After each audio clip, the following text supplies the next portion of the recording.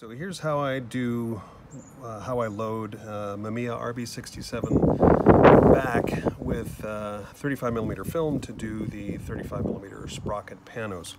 So I have the 3D printed adapter kits for the 35 millimeter cassette, that's for the feed side, and then a 3D printed uh, take-up spool that is actually made to accept 35 millimeter film uh, directly I was actually using a 120 spool and taping a wider leader to it. That was inconvenient. This makes it a lot simpler. So these are readily available for free online to download the 3D printable STL files. So now what I do is I, so I don't waste a bunch of film, I cut a paper leader uh, from backing paper of a 120 roll of film, cut it to the same width as 35 millimeter film. It's about eight inches long, as you can see here. The, the length is not critical, but six to eight inches seems to work pretty well and then I'm going to tape that to my film. This is my dummy practice roll here.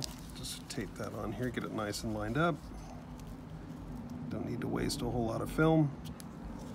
Tape that on, tape it on the other side. So it's taped, okay. And then we just load up our cassette adapters here, like so, and so. Sorry for the airplanes. I'm doing this on the patio so we've got good light. And then this will go on the feed side of the back. Get in there. Oops, there we go. Okay, film wraps around back. Okay. And we'll put our take-up spool in.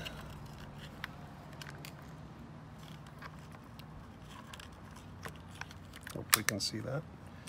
Okay. And then I'm going to load my paper leader. Now you do want to be sure that the leader catches. Um, it's a little slick, so want to be sure that it actually does catch and pull through a couple of loops like that. So it's got slack taken up. And you'll notice then that I haven't really wasted any film, any significant amount of film. So I can actually go ahead and close this up now and I've not rolled off a bunch of frames of film. So we'll close that up like so.